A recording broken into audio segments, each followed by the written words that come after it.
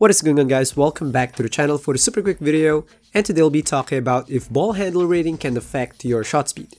This one here will have lots of details, so try to watch it fully so it will make full sense because if you miss some parts, you might miss the whole context of the video and leave the video misinformed. So now let's get right into it.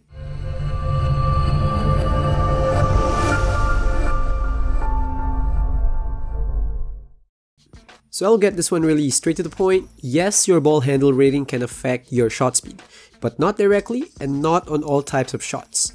The reason why I say that it's not directly, because the one that really affects it is your hand rating. And since your hand rating is equal to your ball handle rating, in this way we can say that yeah, ball handle affects it. I'm not 100% sure though if that equation of ball handle rating is equal to your hand rating applies in all build combinations, but according to my test, I tested 6.3, 6.9, and 6.10 builds, and in there your hand rating is equal to your ball handle rating. So just in case that your build's ball handle rating is not equal to your hand rating, which I'm not sure if possible, then this video here doesn't apply on your build. Now, the reason why I said that it doesn't apply on all shots, that's because it will only affect catch and shoot sequence where you press the shoot button as you catch the pass or even before you catch a pass. So what hand rating does is it makes the transition from the catch to the shooting animation really faster. In here you can see they catch the ball at the same time, but since the other player have higher hand rating, it will transition you faster to the shot.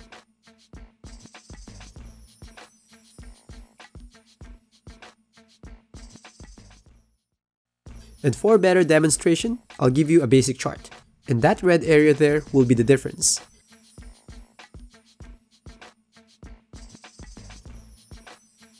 Technically though, it doesn't really affect the actual shot speed because in there, if I sync both clips at the start of the shot meter, it will finish at the same time. So it's all about the transition. So now for the summary, your ball handle rating is equal to your hand rating, and since your hand rating can transition your catches to the shot much faster on catch and shoot sequence, then yes, we can say that your ball handle rating can make your shots faster. So that's all for the video. If you guys like it, please smash that like button and please consider subscribing for more videos. And don't forget to drop by the channel for lots of other contents. And as always, stay safe and happy gaming, guys. Peace.